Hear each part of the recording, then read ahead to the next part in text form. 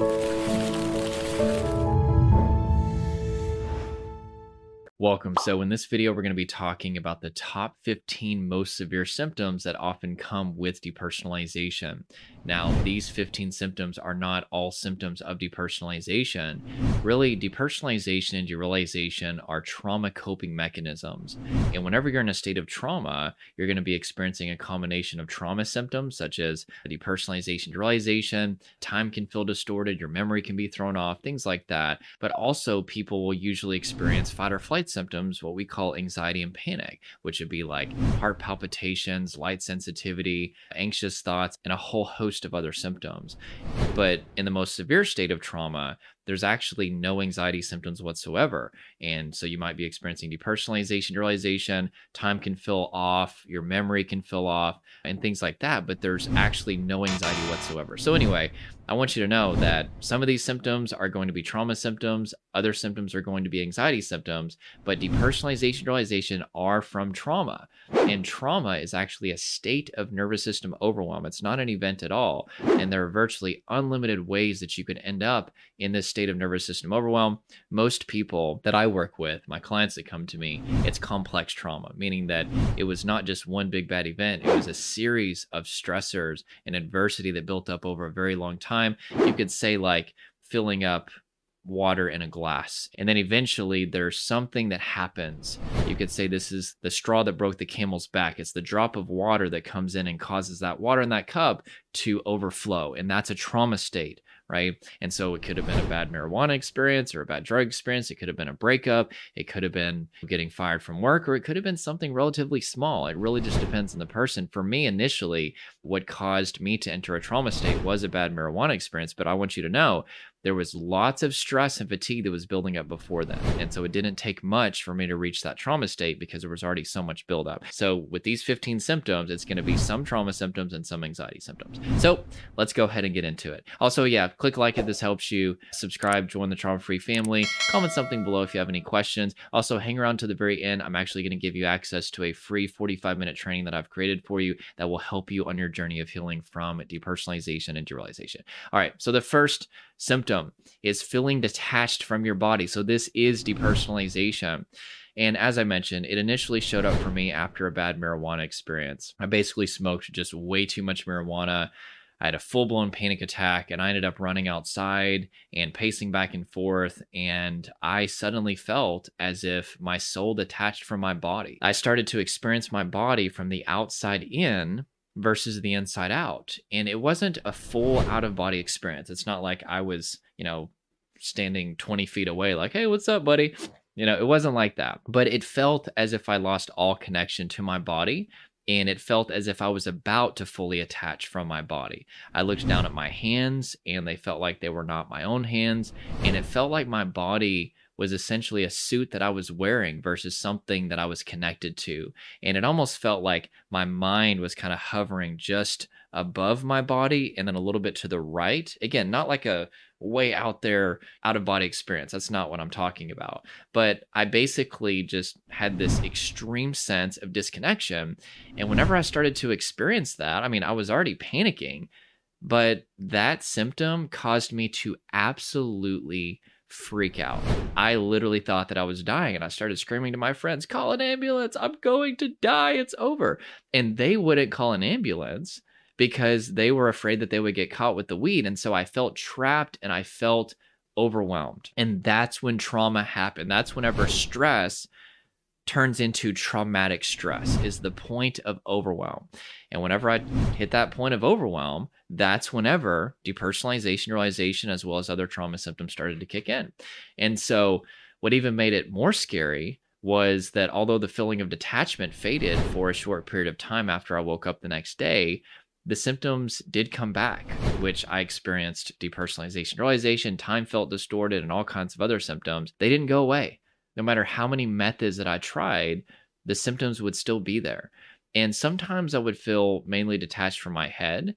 Sometimes I would feel mainly detached from my arms. Sometimes I would feel mainly detached from my legs. And sometimes I would feel again like I was about to have an out of body experience, and my entire body felt foreign to me. It felt like my soul and my body were detached. And when these symptoms would happen, it made it absolutely impossible to focus on anything else than this feeling. It was literally the most terrifying thing that I've ever been through.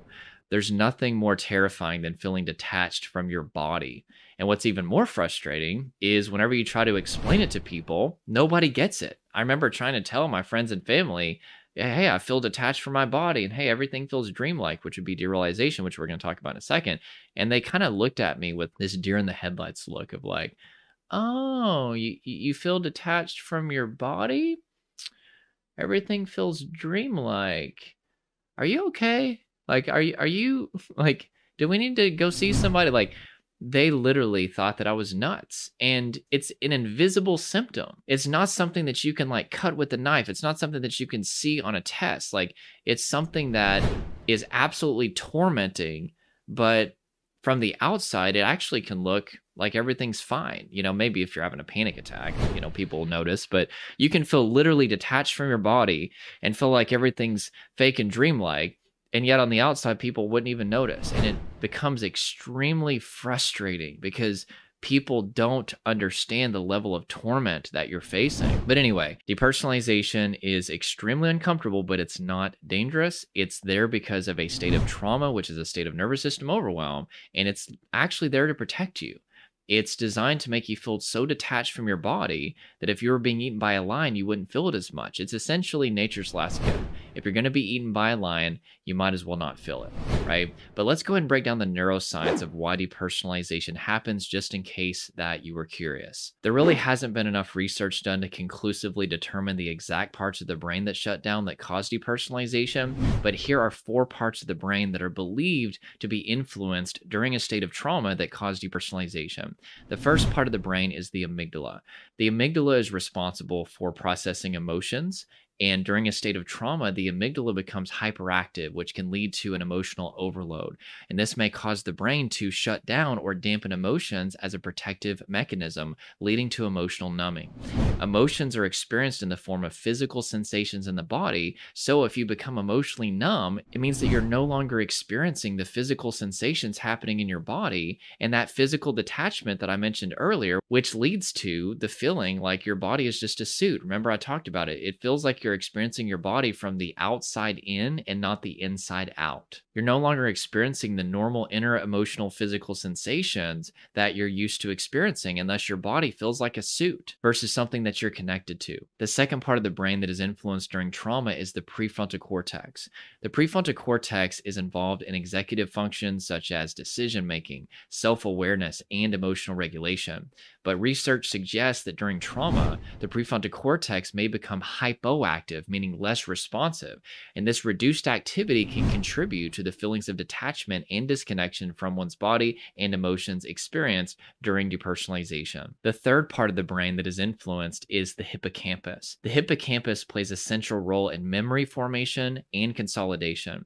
And in response to trauma, the functioning of the hippocampus may become disruptive, leading to difficulties in forming coherent memories during the state of trauma. This disruption may contribute to a sense of unreality and disconnection from the experience, which are characteristic of depersonalization. Lastly, the fourth part of the brain that is influenced is the insula. The insula is involved in processing bodily sensations, emotions, and self awareness, and altered activity in the insula during a state of trauma may contribute to the feelings of detachment and the perception of altered bodily sensations that are often reported in depersonalization. Number two, feeling detached from reality. This bizarre sense of disconnection from the material world is known as derealization and was also absolutely terrifying for me. Derealization makes you experience the world in a way that feels foggy and dreamlike, as if you're looking at everything through a blurry lens. Colors, sounds, and other sensory experiences may seem muted or dulled. The only way that I can describe it is that it feels like you're a zombie who's sitting in a movie theater watching your life play out before you, but the movie is on mute, it's in black and white, and it's happening in slow motion. And you feel like you're a detached observer of this movie and you're not experiencing your life directly. So, why does this happen? Derealization, like depersonalization, is a trauma coping mechanism. By dissociating the person from the external world, the individual may feel less afraid, less pain, and less overwhelmed, which can allow them to focus on survival and escape if there was a life threatening situation, which again is what your brain thinks is happening. I understand for the vast majority of you who are watching this, you're not in any physical danger probably 95% of you. Some of you are in physically abusive situations, which means that you need to leave. That's absolutely essential. But for most of you, there's literally no danger whatsoever. It's just been the accumulated buildup of stress and fatigue over a very long period of time. And eventually things got so built up, you could say that you were like a pressure cooker, and the pressure got so severe, so intense in your nervous system that derealization kicked in to create a mental buffer between you and the source of the life threatening danger, which in this case, there was no danger. It was just the buildup of stress. So the very buildup of overwhelming stress itself communicated to your nervous system that you were about to die, and derealization kicked in to help you and make that death less painful. This feeling is extremely uncomfortable. It's debilitating. Out of all the symptoms that I experienced during trauma, whenever I used to suffer, that was literally one of the most debilitating. Depersonalization and derealization were the most terrifying thing that I ever went through. But I am now free of this, and you can get out of this as well. We simply need to get you out of a traumatized state. I say simply, it's simple in concept, difficult in execution, but you can do this. And as far as the science behind this, the same parts of the brain that cause depersonalization that we mentioned earlier are believed to be the same parts of the brain that are affected during trauma that also cause derealization, as well as the next few symptoms that we're going to talk about. Number three, friends and family start to feel like robots. Your friends, family, and people in general may start to look and feel as they are robots instead of actual people. It's very difficult to explain, but this was for sure one of the more bizarre experiences that I had it's almost like I was projecting my own depersonalization onto others. So basically, I felt super detached from my body. My body felt like a suit, and I was almost projecting that onto other people, meaning that whenever I looked at people, it looked like their body was a suit that they were wearing versus who they actually were as well. It was extremely bizarre and scary. And this caused a lot of existential rumination about what we are as human beings and how our mind and body operate. Next, friends and family may start to feel like strangers. So sometimes, whenever I'd be speaking to people that I loved and cared about, it literally felt like all the history that I had with them had been completely erased in a moment. I felt no emotional connection to them whatsoever. And they felt like a complete stranger on the street that I had never met before. And that was absolutely terrifying, but also extremely depressing. Suddenly, I wasn't able to feel the mental and emotional connection to the people that I loved, which made social interactions extremely depressing and awkward. But not only that, I feared that it would never end. I felt like I lost the most precious connection to the people that I cared about. Next, your memory may feel like it's been erased. I come across this all the time with people. So for me, it literally felt as if my life never happened. I remember sitting for hours and hours trying to remember something from my childhood, something from my teen years, even something from my early adulthood. And I would play out scenes and try to remember all the details, and I just couldn't do it. It literally felt like my life never happened. And the best that I could do was conjure up just little bits of pieces here and there of memory. And this made me extremely depressed because I really wanted to be able to remember my life, especially the positive experiences, the positive memories. And it just didn't happen no matter how hard that I tried. But not only that, I would also forget things that had just happened. And whenever I would try to remember the beginning, middle, and end of events that I had just experienced, I couldn't do it. And honestly, people would usually give me a hard time about it because they would see kind of how clumsy I was with remembering things. And it actually got so bad that I couldn't even follow directions, like driving directions. I'd always get lost. And even learning in school, right? I wasn't able to really remember anything that I just learned, which means that I really fell behind in my academic studies. This was one of those factors that caused that. So, what's the science behind this? Why is this happening? Why is your memory so off right now? Well, adrenaline is a hormone that gets released into the bloodstream during times of stress, excitement, or danger. And its primary function is to prepare our body for action by increasing our heart rate, blood pressure, and energy levels. Interestingly, though, adrenaline also has a significant impact on memory formation. When adrenaline levels are moderately elevated, our memory tends to be enhanced. This is because adrenaline helps strengthen the connections between neurons in our brain, making it easier for us to recall events and information later on. This memory enhancement serves an essential purpose. It allows us to remember and learn from significant or potentially dangerous experiences so we can better respond to similar situations in the future. However, when we experience a state of overwhelming stress, a trauma state, our memory processing can change dramatically. When our stress escalates to the point of terror and overwhelm, our memory transitions from registering as explicit narrative based memory to implicit procedural memory. Explicit narrative based memory involves the conscious recall of events, facts, and experiences, allowing us to tell a story about what happened. On the other hand, implicit procedural memory is more about unconscious learning and automatic responses, like riding a bicycle or playing a musical instrument. During a traumatized state, our brain prioritizes survival over detailed memory formation, and as a result, our memory may become fragmented with sensations, emotions, and reactions stored as implicit procedural memories rather than a coherent narrative. And what that translates into is it makes our memory feel as if it's a plate that broke into a thousand pieces and it makes it very difficult to retrieve and process events. I know it can be scary, but here's the good news. My memory is now 100% back to normal. I'm able to remember things even that happened in my childhood. I'm able to remember things that happened in my teen years and my early adulthood. I'm able to remember things as far as what people just said to me or things that have just happened. Everything's back to normal. And this happens for my clients as well. So you can get through this, even though I know it's extremely scary and frustrating right now. Number six, heightened existential awareness. So the next thing that I experienced was a heightened existential awareness. I became absolutely obsessed with things like consciousness, existence, the universe, and the afterlife.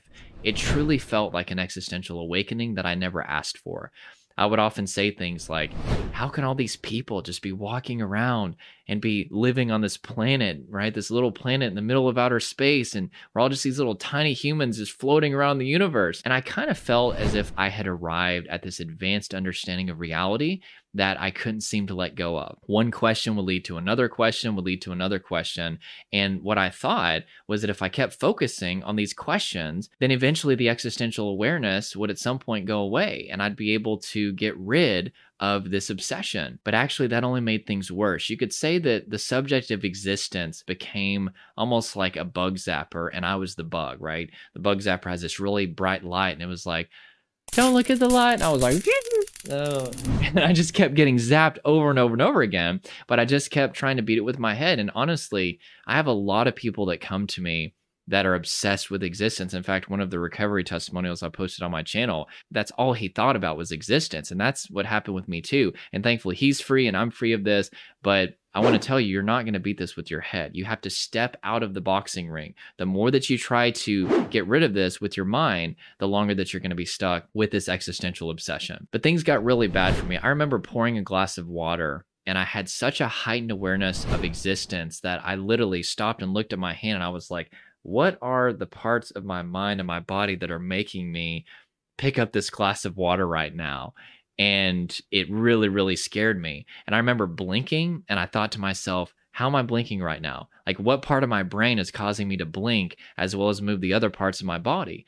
And I would look at other people and think about the intricacies of how they were experiencing the world through their body and how everybody's having a unique experience. And, you know, like nobody's experiencing the world in the same way. And of course, that led me to Google. And I found all kinds of existential theories. And I was looking for reassurance, but I actually ended up just being even more traumatized and overwhelmed. Now, I will say that I was a Christian then, and I still am a Christian but I became absolutely obsessed with hearing all the theories of existence, such as the possibility of us living in a simulation. At one point, I started to think, well, what if I died and this was hell? And the more that I dwelled on existence, the more overwhelmed that I became. And it got to the point where literally just thinking about existence would instantly send me into depersonalization, derealization, and other trauma symptoms. It was really, really bad. And I would also start to have panic attacks because of that. So, why does this happen? Why do you suddenly have this heightened existential awareness? Well, typically this happens because you've experienced either depersonalization or derealization that both carry with them an enhanced existential awareness. When you feel detached from your body or the material world, you automatically come face to face with a level of existential enhancement and awareness that you were previously unaccustomed to. So it just makes sense that that would lead to you starting to obsess over existence because now you have this heightened awareness of existence through depersonalization and derealization. The next thing is feeling like you're looking at a stranger in the mirror. So I'll never forget this one. I literally looked in the mirror and I felt like my face had somehow changed. And I'd been looking at the mirror my entire life, obviously, and never once saw anything other than my face. But I remember that one moment when I looked at my face and it felt like I was looking at my brother. So my brother and I, we do look alike, but we're also very different in terms of facial hair, eyebrows, facial structure. I want to call this out, which if you're watching this, James, I'm just gonna give you beard props. Like he actually can grow a beard. I don't really know what this is. It's kind of like Joe Dirt's facial hair. I've just got the the wrong DNA, I guess. But anyway, I looked in the mirror and it literally felt like I was looking at my brother. My eyebrows felt off, my beard felt off, even my face felt off. It, it literally felt like I was looking at a stranger. And this experience was so bizarre and scary that I literally stopped looking in the mirror altogether for a long time. I can literally remember staring down at the sink while I was brushing my teeth and thinking, is this really what my life has come to? I can't even look in the freaking mirror without having a panic attack or feeling this disconnection feeling. It was extremely humiliating. So, what's the science of this? Well, self recognition, including recognizing oneself in the mirror, involves a complex interplay between various brain regions responsible for perception, memory, and self awareness. Key areas include the temporoparietal junction, the fusiform face area, and the insula. During a state of trauma, these areas are influenced, but thankfully, once you're out of a state of trauma, all the parts of the brain that I mentioned will go back to their normal functionality and you'll recognize yourself just as you once did. I look in the mirror every single day and again, I don't really have that much facial hair to work with. So I've got to do a lot of grooming just so it looks presentable. Because if I don't have facial hair, I'd literally look like I'm eight years old. And uh, anyway, but you're going to feel normal and connected like you always did. Next is distortions and perception of time. So being in a traumatized state has a profound impact on our perception of time often causing it to feel distorted or fragmented. I remember being at work, and sometimes it felt like it took a year just to make it through the day. Other times I would look at my watch and all of a sudden it felt like time flew by and the whole day only took a few minutes. So, what's the science behind all this? One of the key brain regions involved in this phenomenon is the anterior cingulate cortex, which we'll just call it the ACC for time's sake. The ACC is part of the brain located in the medial frontal cortex and it plays a crucial role in various cognitive and emotional processes, including attention, decision making, empathy, and emotional regulation. But for the sake of this video, it's also important to know that it's also involved in time perception, acting as the brain's timekeeper that helps us keep track of the passage of time and organize our experiences in chronological order. Whenever you're in a traumatized state, the brain's primary focus is on survival and responding to the immediate threat. Even if there is no threat, remember, most of you, you're in a trauma response whenever there actually is no threat, but there's been such a buildup of stress and fatigue that your brain thinks that there's a threat and your body is preparing as if you're about to be eaten by a lion. And as a result of that, one of the many parts of the brain that may experience temporary changes in function and activity is the ACC, the anterior cingulate cortex. And here's also what you need to know during a state of trauma, the brain releases stress hormones such as cortisol and adrenaline, which can affect the functioning of the ACC. The ACC is an extremely sensitive part of the brain, and this disruption can impair the ACC's ability to accurately process and perceive time, leading to a distorted sense of time while you're in a traumatized state. You may experience time dilation, which is when your perception of time may slow down, making events seem like they last much longer than they actually do. And this can help the brain to focus on the present moment and process the threat more effectively from a survival perspective. You also may experience time compression, which is when time appears to be speeding up, causing events to feel compressed or rushed. But again, here's the good news that happened for me all the time whenever I was facing symptoms, and now it literally never happens. I do feel like time is moving a little bit quicker as I get older, but everybody experiences that. But as far as those experiences that I just mentioned, they literally never ever happen, and they don't happen for my clients that work with me that apply what I teach them either, and you can get out of this. Next is emotional numbness. This was literally one of the most debilitating parts of trauma is whenever I went emotionally numb. The best way that I can describe it is it felt like even if an atomic bomb would have went off right beside me, I wouldn't have felt it. I just didn't experience anything, not just positive emotion, but negative emotion as well. A lot of people think that they're emotionally numb just because they don't experience positive emotion, but you could just be dealing with, you don't have the pillars of a healthy life in place. But whenever you're emotionally numb, you literally don't have any emotion whatsoever. For me, I didn't feel joy, I didn't feel sadness, anger, I didn't feel anything. And not only that, but I even started to have trouble feeling whenever I was hungry and even feeling whenever I needed to use the restroom because I was so disconnected from what's called interoception, which is the experience of the embodied self. So, what is the science of it? Emotional numbness manifests as a sense of detachment or disconnection from one's emotional landscape. Individuals experiencing emotional numbness may describe it as feeling the following empty or hollow. So you feel a sensation that your emotions have been drained away, leaving you empty or a hollow feeling inside. Number two, disconnected. You may feel separated from your emotions as if you're observing them from a distance or through a barrier. Number three, flat or neutral. Your emotions may seem muted or dulled with a lack of intensity or variation. Or lastly, unresponsive. So you may have difficulty experiencing or expressing emotions even when faced with situations that would typically elicit a strong emotional reaction. So, in other words, maybe you actually are in danger, but all of a sudden you're just completely calm. But it's not calm as in like you're in your social engagement system, which is the calm part of the nervous system. It's like you're numb calm, meaning that you're so numbed out that you're not even experiencing the appropriate fear that you should be experiencing in that moment. So, what's the science behind all this? Well, during a state of trauma, emotional detachment serves as a protective mechanism that allows the individual to cope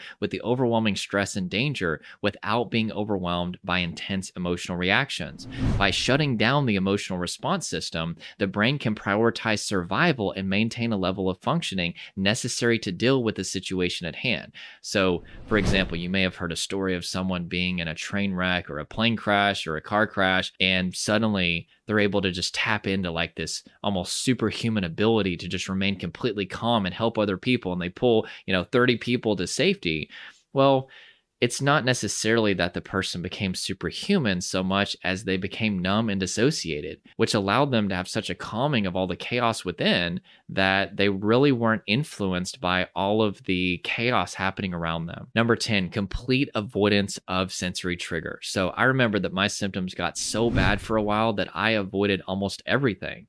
I stopped going to the gym. I stopped going to restaurants. I stopped being around people. I would get off work and then go right home because if I did anything else, my symptoms would just get worse. And that's because I developed all kinds of sensory triggers. So when we have a painful experience, either emotionally distressing or physically painful, right? The brain registers emotional distress and physical pain as the same thing. The brain forms what's called a sensory trigger. A sensory trigger means that the brain has now assigned the procedure of fight, flight, freeze response to the sensory data that you were experiencing at the moment that the sensory trigger was formed. And if we reach a state of nervous system overwhelm due to a specific sensory trigger, the brain will most likely assign the procedure of flight response to that sensory trigger to prevent continued overwhelm. In other words, the procedure becomes, hey, this makes us feel overwhelmed, so let's just run away from it. But here's the problem while this avoidance does serve the short term benefit of reducing stress, since you don't have to be around that sensory trigger anymore, it ultimately only makes you more stressed out because it ultimately only adds to the stress that you're experiencing because our brain assumes that whatever we run from is dangerous. And usually, whenever people come to me, the gap between them and a healthy normal life is very very very big. All of a sudden they're quitting their job. And i get it. No there's no shame. You felt overwhelmed. You tried to do it. I, I get it. There's no shame. But you got nervous around social situations. So you stop being in social situations. You stop going to the gym. You stop eating at restaurants. You stop spending time with friends and family. You stop going for walks. You basically stop doing everything. And a lot of times when people come to me, I'd say probably about 50 to 60% of the time, they're basically not doing much of anything. And again, no shame. You're just trying to feel better. But I want you to know that avoidance has actually become one of the layers of the onion that is fueling you remaining in this state of trauma right? A state of nervous system overwhelm.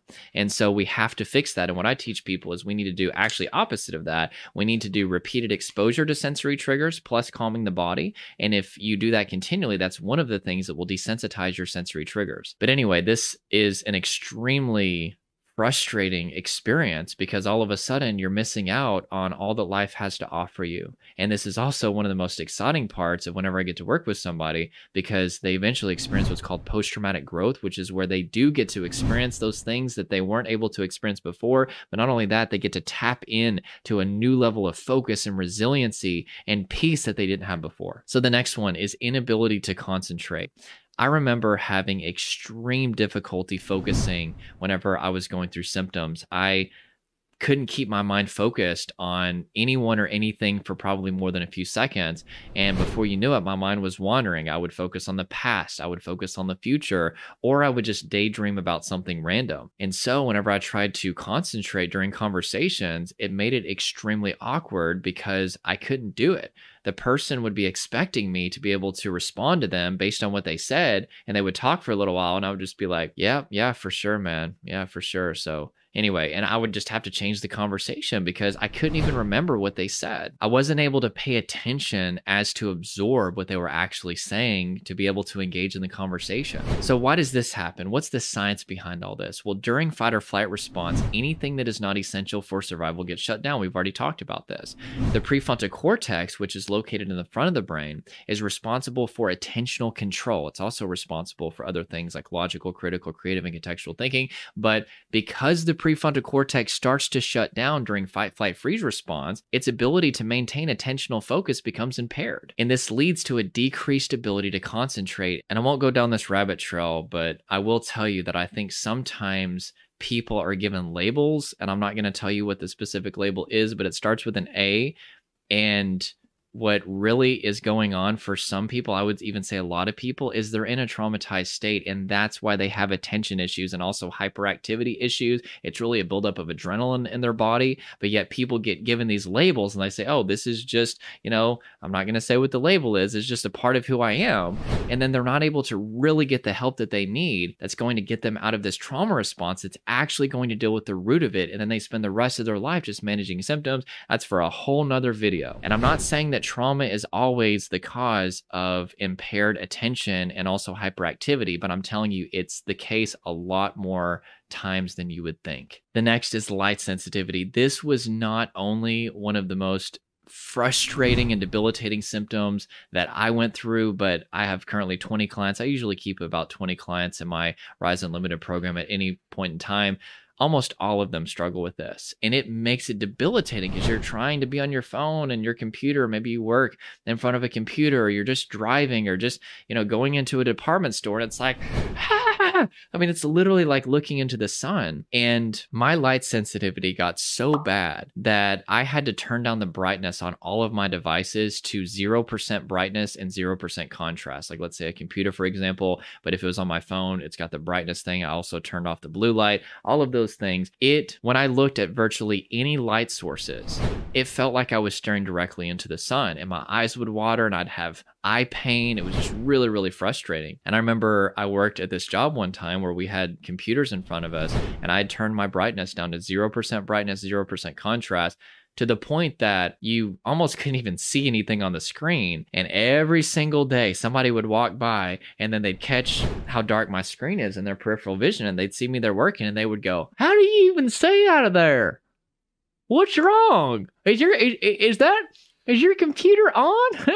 and I'd be like, no, I have light sensitivity. It's uh, it's fine. Everything's good. Have a good day. It was extremely frustrating and embarrassing, but the smallest amount of light would literally bother me in an extreme way. And for a while, I started to wear sunglasses. I actually saw a YouTube video about that, and it did help because you're mitigating the amount of light that's coming into your eyes because of the darkness, obviously. But I couldn't wear sunglasses at work, and I couldn't wear sunglasses all the time, so it made it really, really frustrating. So, what's the science of this? Why is this happening? Well, light sensitivity is part of fight or flight response, which, as we've shown, is designed to help prepare someone if there was a threat threat. And part of how the body prepares you to fight or flee is by dilating the pupils of the eyes to allow more light to enter into the retina, thereby improving the individual's visual acuity and the ability to detect potential threats. Think about it. If your pupils are dilated, you're letting in more of your surrounding, you're going to be able to see if the lion jumps over there or jumps over there, jumps over here, or if you need to run or if you need to fight, etc.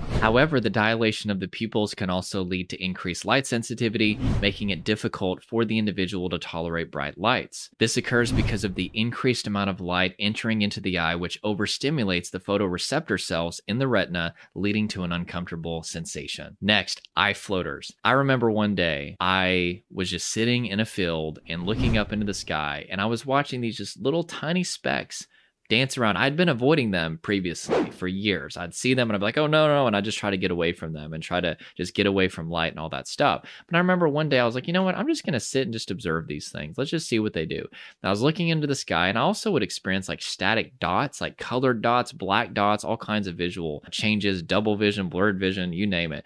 But the eye floaters were the most bizarre because I had no idea where they came from. And the only thing that I can conclude was that I was absolutely losing my mind. I was like, dude, I'm literally going freaking crazy. I was just sitting watching these little floaters just dance around in the sky, or in my eye rather. And I was like, I'm literally going nuts. But why does this happen? What's the science beyond this? This is going to give you a lot of reassurance. So, as we've mentioned, during fight or flight response, the pupils dilate, which allows more light into the eye and improves overall visual acuity to enhance your ability to survive if there was a lion, if there was some sort of danger. Eye floaters are small, shadowy shapes that appear to move across an individual's field of vision. They are caused by tiny deposits of protein within the vitreous humor, which is the clear gel like substance that fills the space between the lens and the retina of the eye. On a normal basis, you wouldn't even notice these eye floaters. They're always there, but maybe you would have to be looking directly you know, up in the sky or you know there'd have to be a huge increase of light for you to be able to notice these things. But when the pupils are dilated even relatively small amounts of light could cause you to see these eye floaters because you're so sensitive to light right now. And that light illuminates these eye floaters and simply makes them more apparent. But once again it's very important that you know this and this really really gave me so much reassurance whenever i was going through this. The eye floaters are always there. 100% of people have eye floaters. You're just simply seeing seeing them more because your pupils are dilated and there's a lot more light coming into your eyes. One example would be let's say that my office was covered in dust, which there actually might be some. I don't see any, but I'm sure it's around here somewhere. Let's say that the walls had dust, the ceiling had dust, there was dust everywhere, but the lights were off. It was completely pitch black. Well, if it's completely pitch black, the dust is there, but you don't see it. But let's say that I turn the lights on, or I get a flashlight and start shining where the dust is well, I'm now going to be able to see the dust. But it's not that the dust just showed up, it's that I'm just now able to see it. So whenever you see these little eye floaters dancing around, calm your body because they have always been there and they always will be there, especially as we get older. You're just simply now able to see them more. You're not going crazy, and these eye floaters are safe. Next is sensory overload. So, sensory overload occurs when the individual's senses become overwhelmed by an excess of sensory information. Sensory information being things that you're seeing, hearing, tasting, touching, smelling, feeling. So, here are just some of the things that would cause me extreme sensory overload that made me want to just get the heck out of there alarms, sirens, fireworks, my phone screen, watching TV. Oh my God, TV was so triggering for me. It would induce panic attacks and DPDR, all kinds of symptoms. Department store fluorescent lights, say that 10 times fast. I remember like Walgreens and I remember walking into Walmart even and just like looking around and it's like, oh gosh, no. And I just wanted to just get out of there. And I would like have to close one eye and I'd be like, you know, squinting. And it, it was just absolutely embarrassing and frustrating. Also, being in crowds, I mean, that was extreme sensory overload, especially if it was like a basketball game or a football game or just something that had a lot of loud noises and a lot of visual movement and there were even smells and just all kinds of stuff. I just wanted to get out of there. But even things like perfumes and cologne and the smell of gas, I was just so sensitized to it and it felt overwhelming in my nostrils. Also, cigarette smoke and just really any strong smells in general were extremely extremely debilitating. And also, I became very sensitive to temperature. I was very sensitive to heat as well as cold. So, why does this happen? What's the science behind it? Well, during fight or flight response, the individual's senses become heightened, making it easier to detect potential threats. So, it's essentially to protect you. The more heightened that you are, the more hyper vigilant that you are, the higher the chance that you're going to survive in the end if there actually were danger, if there were a lion trying to eat you. But when there is no lion and you have all your senses heightened and you're just trying to live your life, it becomes extremely uncomfortable. Here is one of the more extreme symptoms that comes with depersonalization. And this right here is what every single person that comes to me is experiencing. This right here is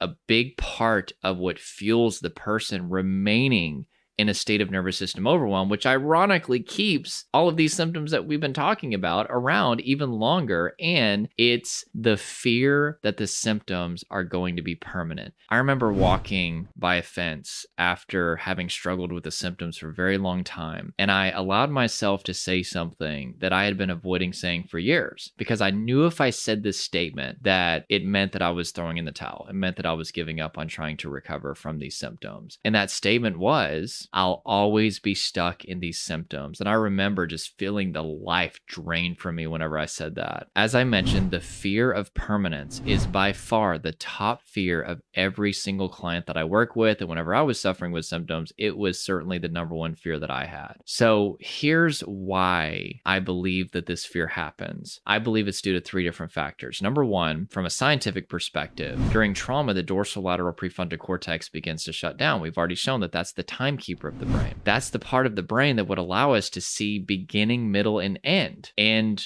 whenever you can't see an end to your suffering, you assume that your suffering is permanent. And technically speaking, which we've learned this in the field of neuroscience, the way that the brain operates whenever it's confronted with things is in terms of duration, path, and outcome. In other words, our brain is automatically thinking when confronted with something, how long is this going to last? What is the path out? Or is there a path out at all? And if so, what is going to be the outcome? Right. And so whenever you're experiencing these debilitating symptoms and you can't seem to get over them and there's not a single time frame for everybody that it takes to get over the symptoms then you see all these other people that are struggling and they haven't been able to get over them and then you've been trying all these things yourself to overcome these symptoms and you can't seem to overcome them, well, you don't see a path out. And so, from your brain's perspective, the outcome will be permanence, right? You don't know how long it's going to last and you don't see a clear path out. So, what could the alternative be from your brain's perspective, right? It's not true, but that's what your brain thinks. But specifically with the shutdown of the dorsolateral prefrontal cortex, it makes it so that you can't see an end to your suffering as well. This would explain why you can watch all the recovery stories on my website or on YouTube, and you can read other recovery stories, but your brain is still telling you, I'm the exception. Maybe they were able to overcome this, but it's not going to be me. But also, there's more to this story. The second factor, and I've already mentioned it a little bit, is that you tried countless methods and nothing has truly gotten rid of your symptoms in the long term. You would be amazed at the amount of things that people have tried by the time that they show up to my door, which is whenever they fill out an application to work with me. I have a little spot on there where I'll say, What have you tried so far? Oh my gosh, some people have been trying things for decades. Every therapist you can imagine, every doctor you can imagine, acceptance, distraction, medications, positive self talk, positive affirmations, EMDR, talk therapy cognitive reprocessing therapy, EMDR therapy. That's a big one that which I actually like EMDR therapy, but it's really only for single event trauma. And most of the people that come to me it's complex trauma, meaning you don't have a single instance that caused the symptoms. You've got repeated stress and adversity over years oftentimes. And so anyway, and a lot of the efficacy of even with EMDR is how the person relates with the person who's administering the EMDR. And so sometimes they don't feel safe and comfortable with the person who's administering it and throws things off. But anyway, they've tried that. Some people try transmagnetic stimulation. People try countless things. And there are even programs out there that are specific for DPDR and they'll say, oh, this is the cure. And they'll have all these testimonials. And then you take it and then you get taught to just distract your mind 24 7 or you just get taught to accept your symptoms. And you try that and maybe it works for a little while or for some people it doesn't work at all all, but ultimately you always end back up in symptoms. And when you try to overcome something over and over and over again for a long period of time, eventually the pain of continuing to try without success becomes so severe that as a defense mechanism to mitigate pain, you stop trying to eliminate these symptoms altogether and you accept this belief that they're never going to go away. That's what happened with me. I even hugged a tree. I literally read an article that if you hug trees, it'll make you feel more grounded, which actually it did make me feel pretty grounded for a second. And I'm not a tree hugger, just to clarify. But I was so desperate to recover from depersonalization, derealization, all these other symptoms that I was literally out in my mom's yard hugging a freaking tree. I tried everything, you name it, I tried it, and it didn't work. And so I finally said, you know what? I can't outthink this. And I've tried all these different methods and nothing is working. I'm done. I said, I'm just, this is just a part of who I am. And, and I see this in people. And it's very sad when I see this. They basically say, well, this is just a part of who I am. But the third factor is that you've read blogs, you've seen comments, and you just saw people that have been stuck in their symptoms for years, sometimes even decades. And because you've had so much trouble getting out of the symptoms yourself, and because maybe your doctor doesn't really know what they are, your therapist doesn't know what they are, nobody knows what they are hardly, or maybe if they do, they just don't really know how to help you. What you've done is you've said, maybe I'm going to be just like that person on Reddit that's still suffering after a decade, or that person that I saw in a YouTube comment that said that there's no hope and nobody can get over this. Maybe that's going to be me. And however, here's what I'll tell you I was so certain that I would never, ever, ever beat the symptoms symptoms. Nobody could have told me that I was going to beat it, and I believed them.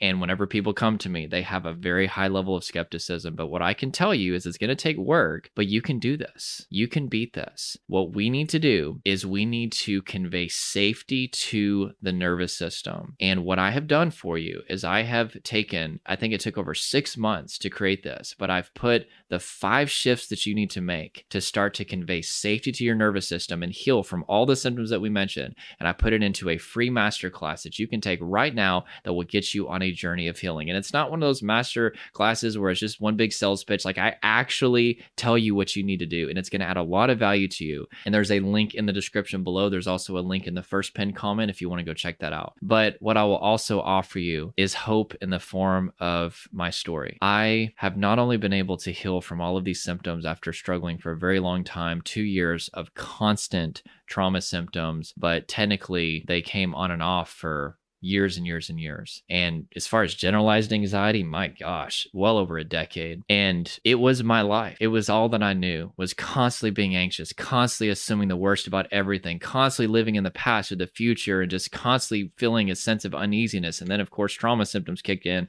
That was whenever all hell broke loose and there was a point where I was having 20 panic attacks per day. I was convinced that I was going crazy and I got out of this. And not only have I been able to get out of this, but I've been able to see people get out of this that everybody said that they were a lost cause. I continue to be baffled at the power of our own body. Our body has an innate capacity to heal itself. But the problem is people don't know what the conditions for healing are. And they're literally obsessed with the symptoms, and the symptoms are not the problem, right? And you need to watch this free masterclass because I break down more in depth of what I'm talking about. And if you can focus on conveying safety to the nervous system, which is done through self regulation, learning to get into a calm body, as well as co regulation, which is being around somebody who makes you feel safe and give you a sense of hope, you can beat this. You need a body based strategy, and you also need co regulation, which is somebody giving you a sense of hope. And if that and building connection with you, and if that happens to be me, that's fine, but it doesn't have to be me, right? But anyway, there is hope. And then I started to teach other people what I had learned, and they started to recover too. And you have to want it, you have to be willing to make adjustments, and not everybody's willing to make those adjustments. There is a sacrifice if you want to take care of your nervous system, but you can do this. There is incredible hope, okay? So anyway, I hope that this video has inspired you, encouraged you. Would you help me out? Please, I'm asking a favor. If you've followed this channel for a little bit, or maybe this is the first time you're finding me, but if you will click the like button, comment something below that's positive or ask a question, and also share this video. It is extremely difficult to get this word out there. And one of the frustrating things that I see every day is people have to go through so many programs that don't work because they have videos that rank higher than mine and they buy these programs and they try all this stuff and then they finally get to me and they're like, man, I wish I would have found you sooner. Listen, I'm not like an, a search engine optimization expert and I got into this to just help people. I had to learn all the business stuff later. So if you would not mind liking this, sharing this, commenting something, it would mean the absolute world to me. I really appreciate you. And also subscribe, join the trauma free family if you're needing help with these symptoms. Many more helpful videos to come. And I hope that you have an amazing day, my friend.